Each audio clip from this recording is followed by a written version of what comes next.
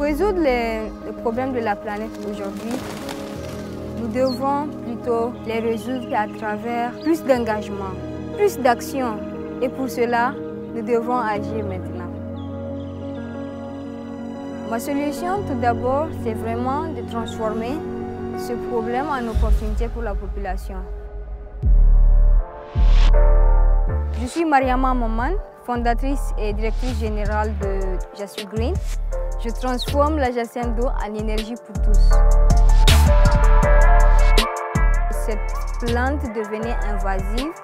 Nous allons utiliser cette plante, deuxième procédé, pour produire des fertilisants biologiques et également de l'électricité à partir du biogaz.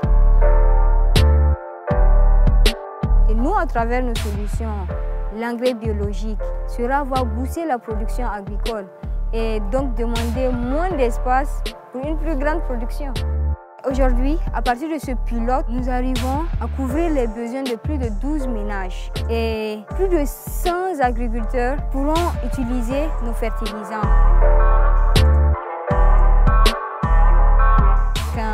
J'ai reçu le prix des jeunes champions de la Terre des Nations Unies pour l'environnement.